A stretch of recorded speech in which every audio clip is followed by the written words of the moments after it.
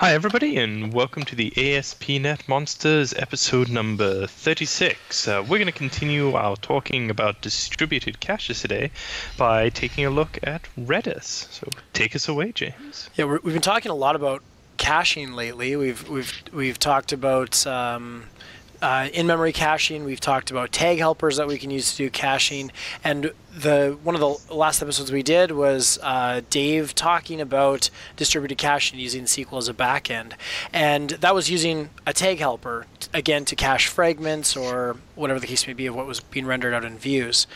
So if we want to cache at a lower level than that, and we want a little bit more control over how that data is actually um, you know what what aspect of the data that we're controlling, or perhaps um, a broader swath of data that we're controlling, and we're not necessarily as concerned about things like the view in terms of what we're trying to cache, then using it from a service implementation is an alternate approach. Now, this isn't to say that you can't use Redis caching with tag helpers and fragments and things like that. Um, of course, we can. Redis is just another option for how we can do distributed caching. Okay, so what is Redis? Right. Well, it's um, it's an in-memory data store, and it we basically use it to store key value pairs. So um, the the key side of it is something that we probably want to be a little bit strategic in um, how we're actually breaking our data down. Redis will take care of the heavy lifting of the um, the sorting, the partitioning, and making it easier to access these bits for us as fast as possible. It takes that away from us. We don't have to worry about it. The value side of it can be anything that we can stuff into a byte array um, using the libraries that are available in .NET. So we can take any collection of, or any um, object or whatever a string or just a number or whatever the case may be, and whatever that data is, we can store it in a byte array and throw it into Redis cache. So um, again, it's a it, it can be distributed so it can you know it's it can be centralized as a as a store so that multiple application servers can use the same backend caching and we don't care if those app servers come online or go offline the entire app, even if the application recycles, we can still be using the same cache. So we couldn't, we could do something like set up a virtual machine and run Redis locally. We can install it, and in fact, there's actually a chocolatey package that we could use, and mm. um, it's just one line of text from the console, and we've got a Redis server up and running. But I wanted to show a little bit of uh, something different here, and in this case, what I've done is I've actually set up um, an instance of the Azure Redis cache. So this is available if you wanted to back your application. It starts at about $18 a month, and that doesn't have an SLA. It scales up very, very quickly. And so if you want to go beyond the basic tier with 250 megs of cache, you can scale up to very big sizes where you can have, um, you know, for example, $500 a month per server, and you could have, or per uh, Redis cache instance in Azure, and you could actually have six of those running and be paid paying thousands of dollars a month in order mm-hmm. to to back things up. So it depends on how big or small your application is, but it starts out in Azure for uh, less than a dollar a day. So, the important thing to remember about the Redis cache on Azure is that it runs in volatile mode, which means that everything is stored in memory, and if something disastrous does happen, uh, there is a possibility that you'll lose your keys. Because Redis has two modes that it can run in. Uh, it can run in volatile mode, or it can run in like a, a write-through mode where it'll write to disk. So the the Azure version is not appropriate for like storing data long term. It's only good for storing stuff in a in a cached fashion. So you should be aware that there will be times where you go to that cache and that key may have been ejected from the cache. So it's the kind of data that you would want in there that you're able to rebuild on the fly and store, but not necessarily something that is mission critical or uh, it's not a per- it's not in a permanent data store kind of mode. That's right. Okay. Excellent. So the other neat thing about this is it gives you, you know, like I've been playing around here and it's showing me cache hits and misses as I go, and um, it'll yeah, just give me some basic inf- information. When you get into some more of some more of the more advanced features and you go up from the basic pricing tier, there's even more interesting graphs and slices and different ways that you can look at it to see how your application's performing. Uh, in this particular case, I've got a lot of cache misses, but what you would see in an application where you're actually strategically caching data is you'd see a lot more cache hits, and this would be a significant improvement if you've got some long-running process to compute values or look data up that doesn't change um, too often or doesn't change or changes only on you know some way that you're aware of uh, some kind of schedule that you're aware of. We're going to talk about invalidating cache here shortly. Mm-hmm. but um, it for the most part you, you, if you've got some strategy along the lines of this piece of data is going to be good for a period of time then this is a really good option to use as with most caches. Okay so we get this set up. It's um, pretty straightforward. There's actually uh, one more thing in there that I'll show you really quickly if it comes up. Oops, there we go. Um, I can actually go into, um, uh, from this uh, screen here, I, I have to pull up a critical thing and I'm just going to let it load. It's just taking a second here. The access keys will give me a connection string, primary and secondary, that I can use, and it gives me the opportunity to kind of obfuscate um, or add a layer of security to this cache that other applications can't use it but I've got this like two there's two pieces to it there's a primary and a secondary if your primary key is compromised you got a secondary to fall back and it lets you roll your keys right from within the interface as well um, I imagine as most things are uh, in Azure this would have been written in a uh, from the shell first. So there's probably PowerShell packages that you can use to automate these things as well if you want to roll your keys on a regimented kind of schedule. Okay, so we've got these. I would pull these out. I've just copied them already off to the side so I can use these. Uh, here we have the application running, and so now I want to just go to the controller where the caching is actually taking place. And this will take a second to load up. And what it does is it pulls back this uh, Jade Gomez or Gomes or however it might be pronounced. I'm not actually sure. And what's important is that every time I'm, I'm hitting this, it's kind of hard to see from the front end, but this is a person that's actually cached. It's the same one. So uh, what I've done is I set up that there's a default lookup key of just A. And again, we'd want to use more intelligent lookup keys. But if I go and I hit uh, B instead, that's actually generating a new entry and throwing throwing that person up into cache on the fly. So let's have a look at what the moving parts are here in order to make this work. First of all, I've gone into Project JSON and I've added a couple of packages to the project. The first one is caching abstractions. This is something that has some of the extension methods that we want in order to add um, our services during startup. And the second one is the Redis package itself, which is actually a wrapper around the Stack Exchange Redis uh, package. So hmm. there's actually some. It's it's basically the abstraction required in order to make it fit in the I distributed caching um, uh, interface. That's let me just make sure I've got that right. It is an I distributed cache interface, so it's just basically a wrapper over that in order to make that work. So we don't have the full implementation of that library. We've just got the abstraction over top of it. So we could take that on and talk to Redis directly if we wanted to, but this is enough to suit our needs. So that's yeah, the Redis, first step. Redis is super simple to talk to. You can use Redis over Telnet, in fact. There you go. Yeah. Okay, so in startup, this is basically where we add our distributed cache capability. So we just say add distributed Redis cache, and then we pass in the options and we give it our connection string. That's what we copied out of that um, interface in Azure in this case. Next thing that we do is we do some kind of implementation. Now, in a previous one, I kind of did some caching on the fly, but what I wanted to do is actually show how we might use a service and some dependency injection to actually inject a service that had the capability of doing caching um, into a controller. So now my controller doesn't know anything about caching, it just knows about this particular um, an instance of this particular class. I could have used an interface, those kinds of things. And dependency injection is actually going to pass the service in for me. Uh, you can see here I've got a default key of A, and that's what's being set. And then when I go into my cache service, this is where we've got things that are a little bit more interesting. So I accept this key. Uh, sorry, I'll just pop back in. Oh, here I am. Yeah.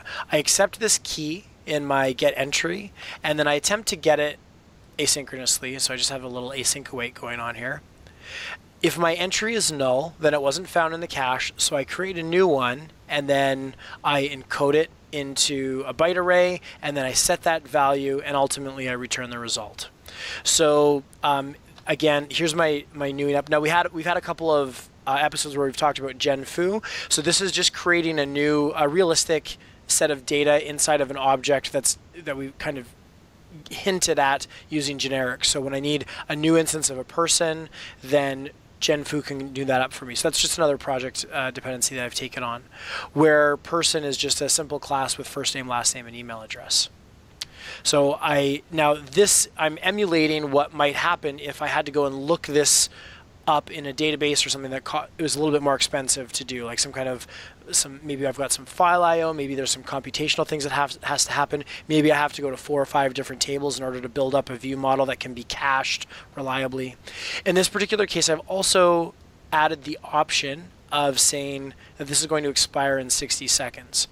As a result, when I go back to my default value, I'm sure I've talked more than a minute already. I can hit this cached info and I've got a different address. Now it's Jacqueline Butler instead of the Gomes name that was used in that first one. However, if I hit this again, you know, just for the next minute, this same Jacqueline Butler is going to keep coming up, and after a minute expires, this Jacqueline Butler will go away. So now I'm just watching the clock, and we're going to try and fill some uh, airtime here as we pass a minute. Any other interesting Redis bits you'd like to share with us, Simon? Yeah, so one of my favorite things about Redis is that uh, one of it stores a bunch of different data types, and here we're just serializing this thing out into a, a string, basically. But one of the ones that I really like uh, is that you can store an integer in there, and it, the operations on that integer are atomic. So it's really, really nice for things like a counter. Uh, so if you have something on your website where you just want to count up, um, which is quite a complicated problem uh, in just to, to do in a distributed fashion, like if you've got 20 machines talking to it and you want to just get the next integer, uh, then Redis is a good way of doing that in an atomic way. Oh, there we go. And a minute has passed, and now Jocelyn Verstraete is the entry that we've got in that cash, cache position. So again, kind of um, not a not a really maybe a, a, realistic thing that we would be caching, but a semi-realistic approach. Did I have the thing in cache, which is the check to get it from cache is cheaper than actually going and getting that thing or building that object up. So I'm going to try to get it from cache first. And if it doesn't exist, I go and I build it or I look it up or I do whatever computational things need to be done. And then I just store it in cache and, and away we go. So I'm going to now just, uh, we're going to be do some debugginess here and we'll just watch what actually happens. All right, Redis trivia number two is that uh, you can put Lua scripts inside Redis and they will execute in that same single threaded context. So if you need to do something complicated, like a, kind of a pseudo transaction, pull a bunch of data from different places, calculate a value, put it back into Redis somewhere, you can write a Lua script and upload that into Redis and it will run that uh, on demand. So it's kind of like poor man's transaction. Um, the only thing to keep in mind is that, of course, because Redis is single threaded, uh, if you do something overly complicated inside of that Lua script, there is the possibility that you could lock up the whole server. But everybody here writes perfect code, so so we don't have to worry about any it's not mal effects. Yeah, no, everything that I write, uh, especially my sorts, all run in O of one time. Perfect. Somewhere my algorithms professor who had no sense of humor is not very happy right now. Okay, we're gonna try that again. Pretending that we're. well, oh, I'm jump. so glad this is gonna be so easy to edit. Okay. Yeah. So now that we've got the application back up and running, we're debugging. I'm going to go to the controller where we're caching things. And right away we'll see I've got in uh, Visual Studio, I'm going to hit my breakpoint. And we can see here that the cache has been passed in, so that's set up for, for us via dependency injection. We're, this is now the caching service that we've created. It's not the actual Redis um, pieces because this is the controller. So now I'm going to go, I'm going to get past this here. I'm going to go look into the um, into the service itself, and it tries to get the cache. So the entry is null, so it was not found. It was not, uh, we did not get a hidden cache. So we're going to go in and I'll just step into this. We're going to create a new instance of that um, person here in this next line as we enter this block of code. We serialize it. We create an entry in uh, which is just our byte array, and then we are going to push that up to the cache, and then we're going to continue about our merry way, and we're going to load that page. So that null entry there is what might be known as a mandatory cache hit, meaning that there's no way that the cache could have had that value in it beforehand. So it's okay to miss that one. Right. So now I've got an Eric Smith in here, and if I hit the cache info again, I don't have any breakpoint set, so it comes back right away. So again, uh, there's going to be times where we have as you said, a, a, cache hit is guaranteed. There's no way around it. Other times we can work with these expirations in a number of different ways. Let's have a look at that really quickly because that is something that is important. There's there's a couple of things. Maybe we've got something, an aspect of our our application that we can cache for um, a predetermined set of time. So, for example, every hour we want to regenerate a set of statistics that are going to be displayed. So I could actually say, okay, from I could do time span from minutes and say 60 minutes, or from hours, one hour kind of thing. In this particular case, I'm saying an absolute expiration relative to this point in time. So this is going to live for a minute starting now. But I've got a couple of other um, options that I can use as well. So, for example, um, let's see here. I can use an absolute expiration. So perhaps I wanted to expire at midnight every day um, at a specific time, or I can use a sliding expiration, which is a strategy that says anytime somebody hits it, let's leave this in cache for the next hour, and we just or the next minute or the next day or whatever it's going to be. But every time somebody hits it, we just say somebody was trying to get it. Let's leave that in there and we just keep sliding the expiration as long as is required. Now, with the default implementation of this package that's brought in, these are the only options that I've got, and I also don't have a way and I'll just uh, show you here right now.